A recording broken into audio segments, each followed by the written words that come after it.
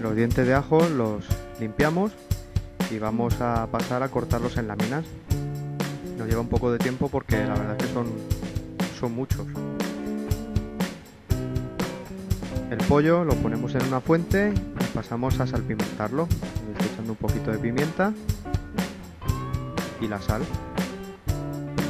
Lo removemos para que se reparta lo más uniformemente posible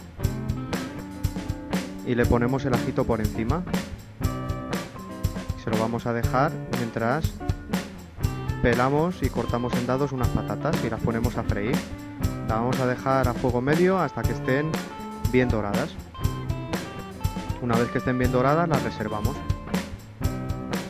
Hemos preparado un buen fuego en el campo. Este, este pollo es campestre. Lo que hacemos es de la fuente directamente una cacerola poner, poner el pollo. En la cacerola habíamos puesto un chorrito de aceite.